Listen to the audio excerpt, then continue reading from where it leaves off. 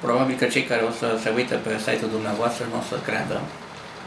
Nici eu n-aș crede dacă mi-ar povesti cineva lucrul ăsta, dar n-am avut nicio clipă ca țintă să ajung nici uh, în cadrul didactic la arhitectură, nici să când sau să scot discuri.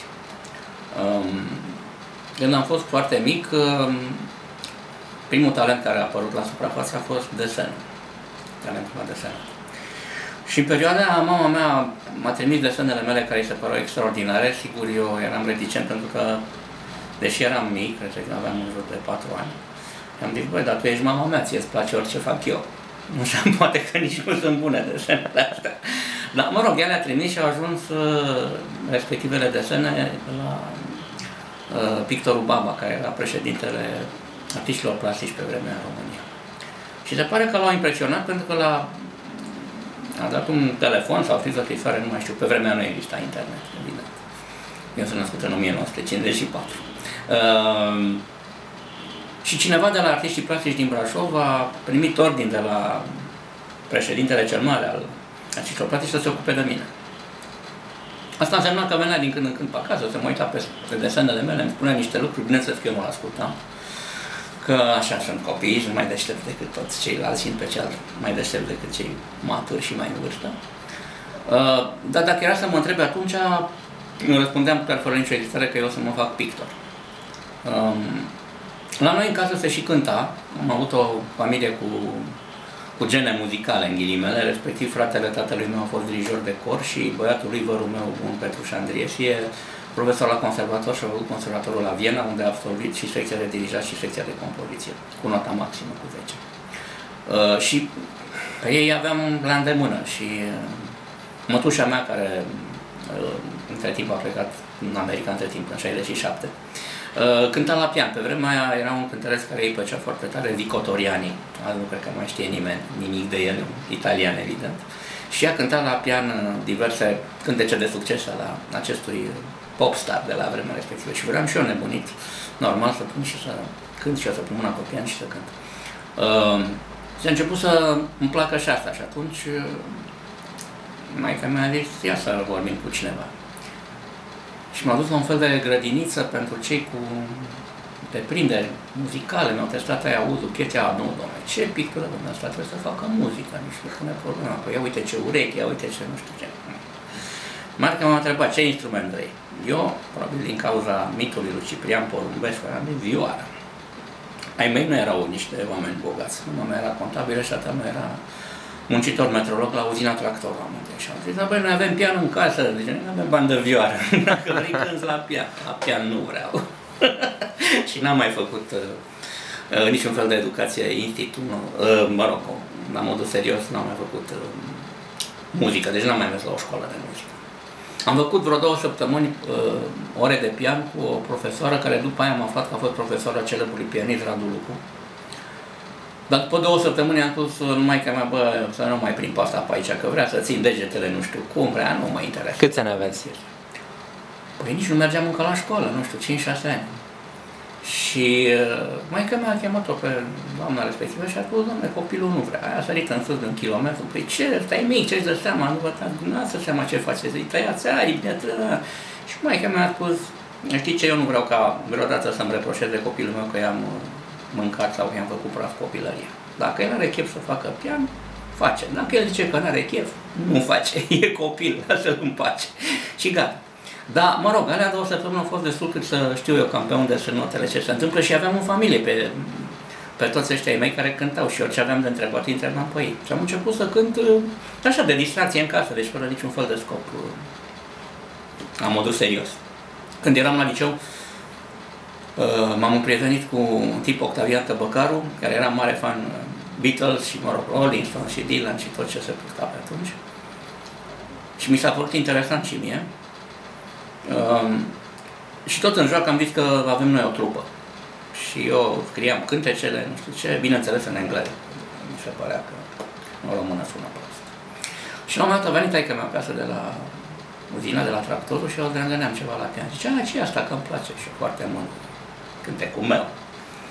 Și el a zis, cum o să fie cântecul tău, că e în engleză. Păi engleză, că în română sună prost. Și așa peste umăr, fără să se uite la mine, ce, a, nu, asta e o prostie, nu e adevărat. Dacă ești bun, trebuie să sune bine în română, că asta e limba ta acum, adică nu sună bine în română. Nu ești tu în stare să-l faci, asta e altă problemă. Mamă, și s-a înfipt asta ca în cuincă, pentru că avea dreptate, evident. Eu nu eram englez, eram român. Toți care cântau în engleză, cântau în engleză pentru că erau născuți în Anglia sau în America. Și mă rog, după aia, din motive strict comerciale, cum a fost cazul trupei ABBA, să zicem, care nu erau engleză, cântau în engleză ca să-și vândă discurile, dar nu așa. Și din clipa aia am renunțat la engleză, fără niciun fel de regret am început să fac în, în limba română cântece. Sigur că la început a fost destul de dificil pentru că limba română nu e atât de plină de vocale și plină de cuvinte scurte ca limba engleză care să ajute mult din punct de vedere muzical. Și cu foarte multe de astea R, J, C, I, C, C, de astea urâte. Da, mă rog, nu contează.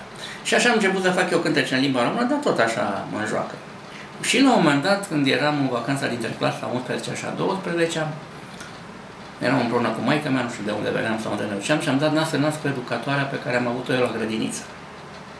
Și a început să plângă. Și a zis, nu, pot, trebuie să vă spun ce s-a întâmplat. Uh, când am făcut eu grădinița, la un moment dat a fost un concurs pentru copii, deci pentru copii de grădiniță, pentru cei de școală.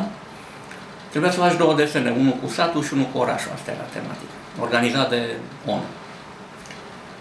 Și premiul cel mare era o bursă pe viață la școala de bele arte din Paris. Concurs la nivel mondial, deci nu la nivelul României. Și asta plângând începe să ne spună că de fapt desenele mele au luat premiul întâi pe lume. Dacă a venit un tip de la partid și cu un securist care a obligat-o să șteargă numele meu de pe desenele mele, să pună numele băiatului tipului de la partid, care a plecat în Franța la bursă, cu care a plecat și el și nu s-a mai întors niciunii, nici nu a vrea să o șteargă din țară, dar la vremea eu n-am judecat așa. Și pentru maica mea, chiar mai mult decât pentru mine, dar și pentru mine a fost un mare șoc. Adică am aflat brusc că Viața noastră putea să fie total diferită. Da, că brusc nu conta că eu am făcut desenul ăla, că ei au făcut ce au vrut cu desenele mele, mi-au șters numele, brusc era copilul unuia care era autorul desenului, mână-mână cu tipul de la arte plastice care mă educa pe mine, teoretic. Adică tot a fost organizat de tovarășii de la PCR. Și atunci, bineînțeles că la 17 ani nu stai să judeci așa la rece și am zis eu, nu mai pictor, nu mai mă fac pictor. Oricum eram eu puțin uh, așa, nu foarte sigur, pentru că profesorul cu care am făcut eu grafică și pictură, și cu care am făcut inclusiv artă abstractă, un tip foarte bun, Grigore din Cofti, din Brașov. Când am fost la el la atelier, am văzut pereți plini de muncitori la forje, feceriși, chestii. Zice, ce e asta, domnule? Că el, păi și asta, deci aici dacă n-ai de asta pe pereți, nu-ți dă nimeni în atelier. Deci asta trebuie să pictezi, cu asta trebuie să duci la expoziții. După aceea ce faci, faci tu acolo, ascuns acasă. Deja nu mi s-a părut în regulă, era o, o chestie schizoidă care nu mi convenea. Nu-mi dădeam încă seama că la vremea așa funcționa toată societatea, că era într-adevăr o societate de schizoidă 100% și că fiecare făcea ceva în casă și altceva arăta afară și așa mai departe. Inclusiv și de la PCR. Dar asta e altă discuție. Uh, și um, am zis nu mai pictă, gata. Venea clasa a 12 știam să desenez evident foarte bine, zic mă duc la arhitectură, că măcar matematică știu, de desenat știu, am șanse să intru. Deci nici măcar asta cu arhitectura n-a fost o, o alegere făcută din pasiune sau cu, cu premeditare, nici vorba. Și am intrat la arhitectură din prima, deși am avut uh, nota 4 la lucrarea scrisă la matematică. la vremea scrisul la matematică nu era eliminatoriu. Erau două probe de desen, matematică scris și oral și am dat probele de desen, am luat 10 la matematică în oral și până când s-au afișat notele de, mă rog, lucrările și matematică, aveam 4 și bineînțeles că am făcut, mi-a dat contestație, am zis, bă, 4. Ceva, au greșit aia. De fapt, era o problemă de asta care se purta la vremea respectivă în care era la început, îți dădea o ecuație simplă, rezultatul ecuației x-ul respectiv devenea rază în cerc înscris în știu ce triunghi care făcea, aia, și era o problemă de asta care mergea dintr-una într-alta și la sfârșit obțineai un rezultat. E, și eu la primul calcul am zis că 4 ori 2 fac 7.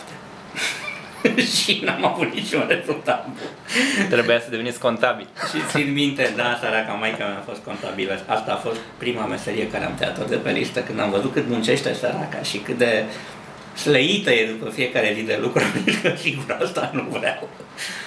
Uh, și era și perioada aia construirii dezlănțuite a socialismului în care trebuia să aibă contabilitate dublă, că una era contabilitatea care se raporta și alta era cum stăteau uh, de adevărat cu producția, vă dați seama. Și uh, fac o paranteză care vă spun și asta, că și asta e interesant. Uzina de tractoare a fost inițial uzina de avioane din Brașov, iar și în clipa în care uh, au venit rușii, uh, au desfințat fabrica de avioane, că nu le convenea ca România să facă avioane. Poate puțin știu, dar România a făcut unul din avioanele de, nu știu cum se cheamă asta, pe care se învață și avion de, de luptă cel mai bun din lume la vremea respectivă. Iar nu știu cât se cheamă. Și uh, au transformat fabrica de avioane în fabrica de tractoare. Taică mi fusese muncitor meteorolog și se ocupa de aparatura de bord a avioanelor, o chestie foarte importantă. Și Bruce devenise uh, meteorolog și se ocupa de aparatura de bord a tractorului, care, mă rog, o distanță uriașă. Și uzina s-a chemat inițial Sovrom Tractor, după aia au zis doar Tractorul Brașov. Și la un moment dat am fost eu când eram mic cu el la fabrică și era așa un, un parc de tractoare, mi s-a părut uriaș și cumva te impresionează forța asta așa de producție. Și stai că mi-a zice, băi, zice, niciun sfert nu au motor înăuntru. Că ăștia ne obligă să facem nu știu ce producție care e imposibil. Și atunci noi punem carcasele, noi știm care au motor și numai pe alea le trimitem și restul să vadă ei aici, că sunt gata, dar ele nu sunt gata. Așa că toate semnalele astea m-au făcut să, să nu cred în tipul ăsta de societate, în care totul era o minciună controlată din toate direcțiile. Deci precis că și ea de la partid știau că lucrul ăla nu se poate face. Că nu se poate fizic și atunci ei vroiau să fie mințiți, că ei să dea mai departe minciuna și să stea liniștiți și să-și vadă de avantajele pe care le oferă sistemul. Mă rog. Și uh, am intrat, uh, mi-a spus profesorul, revin, cu domnule, ce ai rezolvat problema foarte frumos, este o rezolvare elegantă, dar nu știi tabla mulțirii. Uite, mi-ai scris că 4 ori 2 fac 7 și nu ai niciun rezultat și mai mult de 4 ori n-am putut să-ți bag. Maica mea mi-a făcut un scandal groaznic, pentru că, într-adevăr, eu, în clasa 1 sau a doua, nu mai știu când se făcea, cred că 1 n-am vrut să învăț tabla mulțirii. De ce nu vrei să înveți tabla mulțirii? Și erau niște caiete și ziceam, păi uite, e aici, dosul caietul e tabla mulțirii, de ce să o învăț? Păi nu poți să umbli cu caietul după tine tot timpul. Mă, am învățat-o de gura ei, dar cum se vede, n-am învățat-o destul de bine. N-aș fi fost un contabil. Și așa am intrat la arhitectură, recunosc că în primii 2-3 ani așa am fost serios și mi-am făcut treaba, cum ar veni. Da, pasiunea s-a aprins încet după anul 2-3 încolo. Am început să-mi placă cu adevărat meseria asta. Și m-am întors și am învățat și ce nu învățasem ca lumea în primii ani, pentru că îți dai seama că ai nevoie de lucrurile alea. Și, mă rog, când am terminat facultatea, am, uh, am ieșit al doilea pe facultate, ceea ce nu știam că nu stăteam să-mi fac mediile. Primul fiind băiatul rectorului. Și au venit la mine să mă întrebe dacă nu vreau să rămân în învățământ. Și la vremea respectivă vine să șeful comitetului de partid aici. Și am spus, nu, păi de ce să rămân eu în învățământ? Bați pe ăla care a terminat primul. Păi și ăla e băiatul rectorului. Nu ăla a terminat primul, tu ai terminat primul. o altă dovadă de chestie schizoidă totală. Dar mă rog, m-am gândit și băi, decât să mă duc, nu știu ce, să mă cer toată ziua cu muncitorii pe șantier aia, să fure eu, să țip. Mai bine aici. Și așa am ajuns să predau la arhitectură. Asta se întâmpla în 1980, această discuție. Școala am început în 74. Și după cum vedeți, tot aici m-ați găsit, deci nu, nu s-a întâmplat nimic spectaculos între timp, decât că mi-am, mi-am văzut de treabă și îmi pare foarte bine că s-a întâmplat așa pe linia asta cu arhitectura și cu desenul, pentru că, pe de o parte, arhitectura e mult mai interesantă decât simplu desen sau simpla pictură. În clipa în care faci o facultate de tip arte plastice sau facultate de tip conservator sau iată ce, și ești artist, artist 100%, um, lucrul ăsta te face cumva odată egoist, pentru că ești tu împotriva lumii, vrând nevrând. Adică tu trebuie să crezi foarte tare în ceea ce faci ca să reușești. Și ești doar tu cu foile tale pe care scrii romanul, sau tu cu pânza, sau tu cu aparatul de fotografiat, nu știu, am nu. Și chestia te face și mai introvertit decât e cazul și și mai egoist decât e cazul. Și de multe ori și mai rău. Arhitectura este o meserie care te obligă să lucrezi în echipă. Nu poți să faci o casă singur. Trebuie să colaborezi în primul rând cu cei care sunt proprietarii casei și care spun cum vor ei să stea în casa aia și ce le place și ce nu le place. Că nu faci casa pentru tine, decât o singură dată, dacă ai noroc să-ți faci tu casa ta. Uh, numărul 2 cu colaboratori, efectiv inginerii de structuri, inginerii de instalații, de electrice, toate lucrurile astea. Și atunci te obligă meseria, prin definiție, să lucrezi în echipă. Uh, e ceva puțin mai uman, e o chestie de creație, dar e mai, și mai cu picioarele pe pământ și mai umană din punctul meu de vedere decât uh, o meserie de tip creativ 100%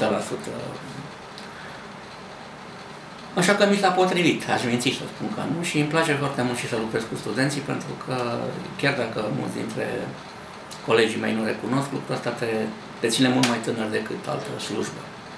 Pentru că vin oamenii ăștia tineri care vor să afle de la tine lucruri și pe ei nu poți să-i păcălești, ei simt imediat că tu știi sau nu știi. Și în clipa care tu nu știi să le răspunzi la întrebări, se duc și întreabă în altă parte. Și chestia asta te obligă să fii la zi și să fii pe fază. Ceea ce de multe ori într-o traiectorie normală de profesie nu se mai întâmplă și încet, încet te plafonezi și rămâi undeva acolo la un nivel. Ceea ce și asta e foarte normal și omenesc. Dar de-aia îmi place destul de tare aici, chiar dacă în ultima vreme nivelul a scăzut din motive evidente.